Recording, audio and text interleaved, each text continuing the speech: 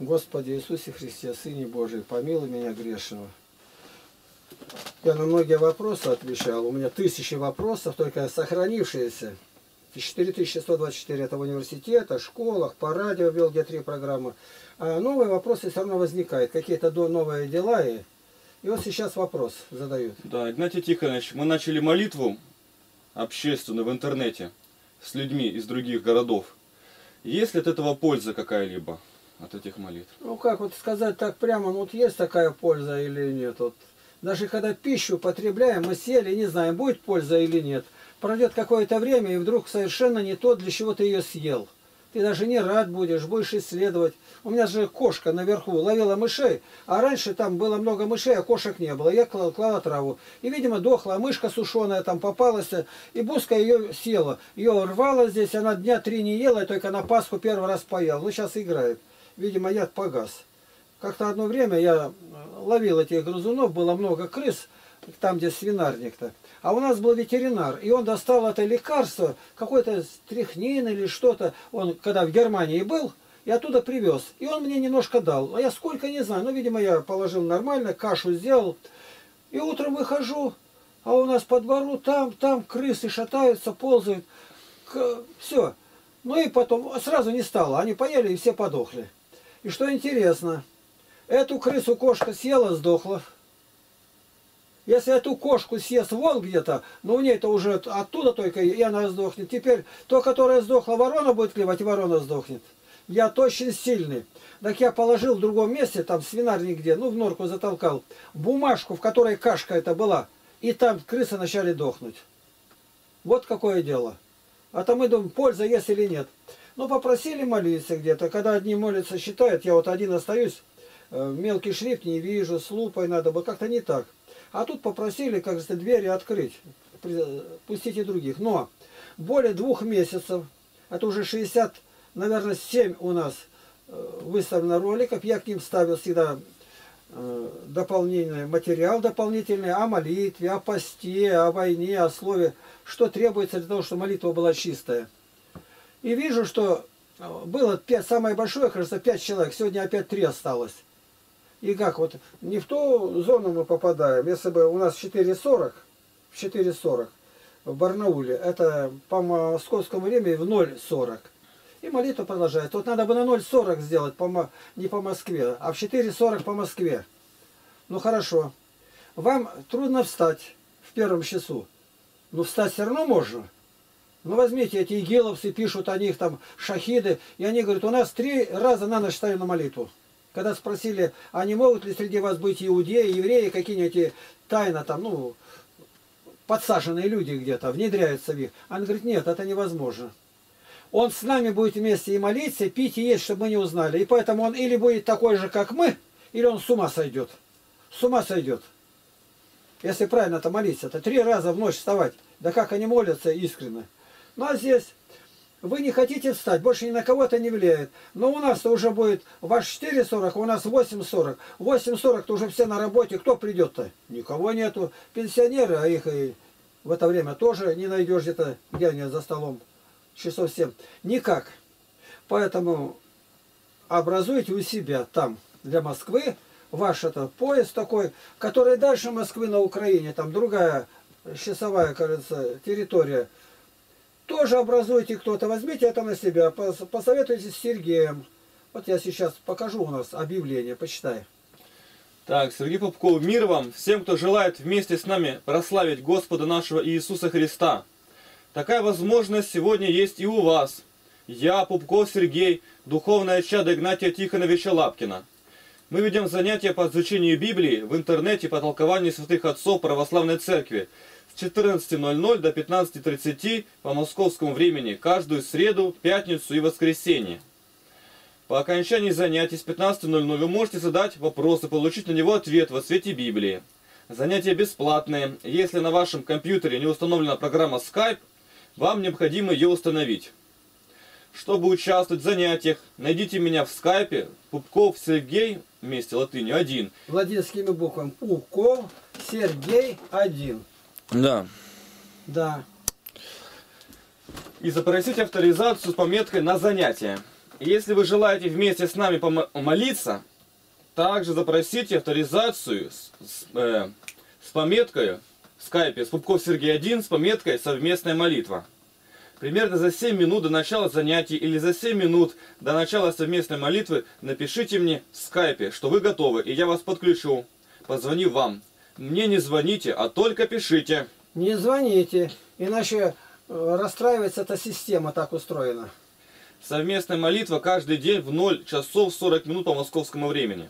На молитвы женщины должны быть в платке, мужчины подпоясаны, рукава у одежды у всех – должны быть длинные, до кистей. Женщина и мужчина. Тело должно быть закрыто. Во время занятий совместной молитвы прошу отключать микрофоны, дабы не создавать шум, мешая другим слушать и молиться. Храни всех Господь. Лука 11.1. Случилось, что когда он в одном месте молился и перестал, один из учеников его сказал ему, «Господи, научи нас молиться, как Иоанн научил учеников своих. Ну, на нашем видеоканале вы это найдете. Я рассказываю, как правильно совершать крестное знамение. Правильно. Правильно. Лоб середина лба, пуп где внизу, правое плечо левое, левое плечо, где соединение руки там идет, чтобы было перпендикулярно э, с, вертикальной линией. И какой поклон делать? Такой поклон, чтобы рука могла пол достать. Земные поклоны. И это мы все рассказывали, и люди уже все начали молиться даже внешне, как положено. Считаем псалтырь на русском языке и правила утреннего вечернего чтения тоже на русском языке из молитвословов. Пасхальное это пасхальное читали. Я теперь перестал вести занятия, считаю я Игнатий Лапкин. Это все Сергей взял, потому что меня тут не будет у кого есть желание по скайпу что-то поговорить, должны сейчас э, под скайпе написать у меня, когда я свободен. Потому что уже в скором времени, с 10 июня, меня не будет 4 месяца. Я уезжаю э, в деревню, а там нет связи такой э, хорошей. Деяние 2.42. И они постоянно пребывали в учении апостолов, в общении и преломлении хлеба и в молитвах. Псалом 87.14. Но я к Тебе, Господи, взываю, и рано утром молитва моя предваряет Тебя.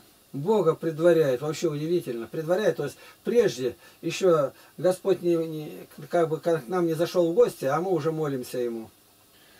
Притча 28.9. Кто отклоняет ухо свое от слушания закона, того и молитва – мерзость. Страшные слова.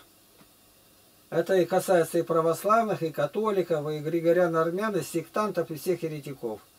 Молитва мерзость. А почему ухо от слушания закона? И извращение, то есть, ну, неправильно где-то. И поэтому э, в каждой зоне, вот наш зайдите на наш видеоканал, я э, ну, просто под этим роликом будет, э, где наши данные какие есть. И сами посмотрите, как у нас проходили молитвы. Может, у вас будет что-то лучше. А слышит Бог или не слышит, не знаем мы так отвечать. Это сектанты только знают. У них все уже они спасенные. А мы-то не так. Мы спасенные в надежде. Мы грешные, многогрешные, просим у Бога милости.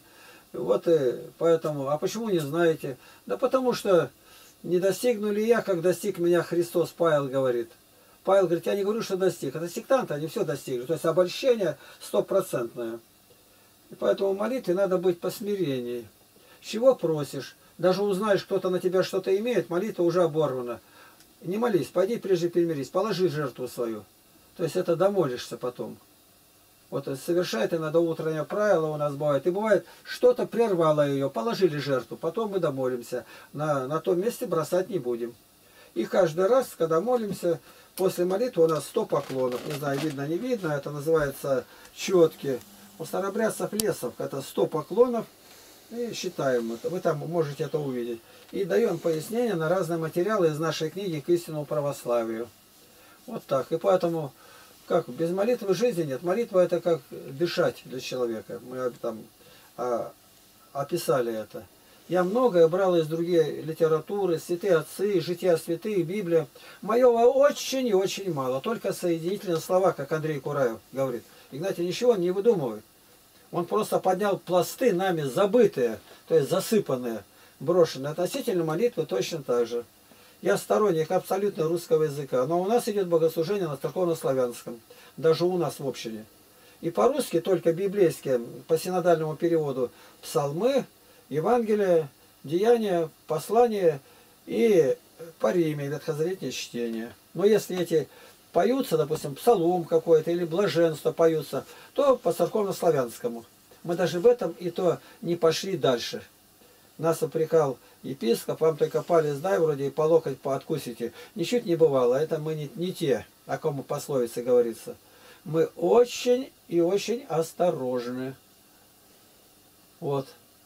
И если говорить так, вот даже я попутно пословицы какие-то говорю, вот даже священник, вот, ну, священник по-славянски поп. А когда говоришь поп, некоторые думают, еще ты ругаешься-то. Но как протопопа вакуум? Не протосвященник, а протопоп. Это звание такое его, чин такой. Вот. Как говорим, полковник это, а подполковник. Подполковником что он лежит? Он ниже его, и подполковник называется. Так и здесь. Вот о священниках как говорит? Кто-то что-то говорит и говорит, да у меня только одна рубаха. А тот скажет, одна у папа жена. То есть два раза жениться нельзя. Если священник умерла жена, он женился, то с него сан снимается. Он уже не священник. И никогда не может быть назад. Возврата нету. У папа одна жена. Эти пословицы-то. А это взято из послания апостола Павла. Муж одной жены. Или такое, когда кувыркает какой-то ящик, а он длинный-то, ну и боком его, а другой говорит, да ставьте на попа, то есть вертикально кверху, то есть священник не пьяница. И опять же это взято из послания к Титу, апостола Павла, епископ, не пьяница, не бийся, ставь на попа. Видите? Но зато если у Белинского написано, про кого анекдот, там басня-то, про попа, про попову дочку, поп-то лаконный лоб, а работники его балде. То есть есть и такие, которые заставляют задуматься. Он не говорит о священнике, а о попе. Повторяет это церковно-славянское слово. Поэтому надо быть очень внимательным ко всему, что слышишь. Меня неоднократно даже упрекали, я вел три радиопрограммы, но я привожу, что сказал такой-то, стихи читаю, вот сейчас читали мы Крылова Ивана Андреевича, э, я брал 200 иностранных только в моих трудах, э, поэты, поэты, и 300 российских, 500 поэтов только я пользовался. Стихи 500 поэтов. Это вообще, говорится, глаза в разбежку. Но я любил все это, знал, и студентам наизусть э, рассказывал стихотворение, но именно по теме, не просто так. И когда я вел попутно, я говорю, мировое искусство, объяснение каждой картины во свете Библии. Очень популярные были у меня занятия, очень. И высоко это ценили. Даже похвалюсь моим Господом, не было претензий ни от кого, что против, там оскорбил или как начинают, которые нападают. Надо просто быть внимательным. И Господь через это делает свое дело. Я как-то приводил, ну даже которого не уважаю человека. Самый неуважаемый это Владимир Ульянов. И он говорит, наша радость от трудовых успехов. И я это подхватил. Видите, неплохо. Маяковский мне не нравится совершенно. Но у него есть хорошее выражение. Он пишет, пусть с фронта борьбы поступают сводки, что вышли победителями из боя злого. Не выпито ни единого стакана водки, не сказано ни единого бранного слова. А сам и курил и пил. На это не надо смотреть.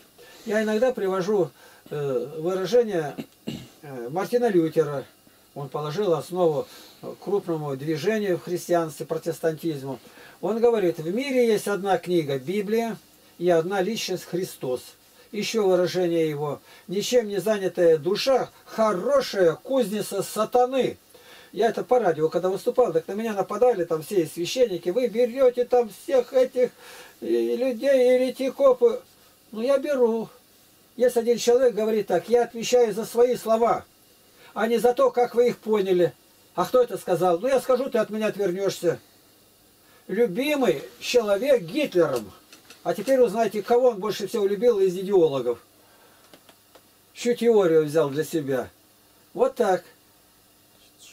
Милости просим на это обращение и в каждом регионе образуйте это и выходите. Старым удобно, только кнопку нажал, и там считает кто-то, и ты присоединяешься. Не надо говорить, что молитва это закрой дверь, молись. А как в храме тогда молиться?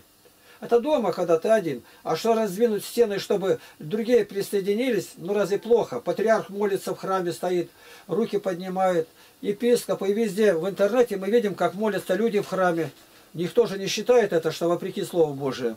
Ну все у меня. Желаем очень, чтобы Господь нас услышал. Богу нашему слава во веки веков.